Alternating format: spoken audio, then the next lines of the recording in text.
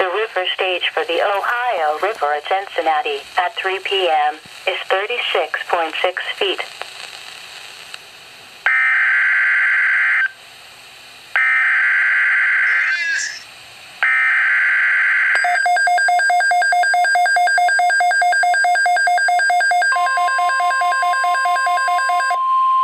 How many flash flood watches am I gonna get this year? Jeez Louise.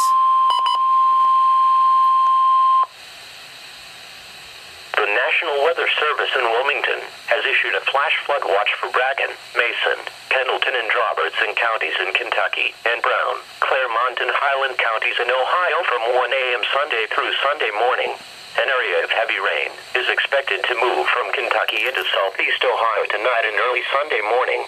With the previous rainfall over the past few days, most of this rain will be near total runoff. The axis of heaviest rain is expected to lie southwest to northeast and cross from Lewis County into Scioto County.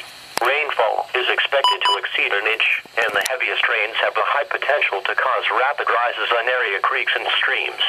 A flash flood watch means that flooding of small streams, creeks, and other drainage areas is possible within the watch area. People in the wash area should keep an eye on the weather and be prepared for immediate action should heavy rains and flooding occur or a flash flood warning be issued.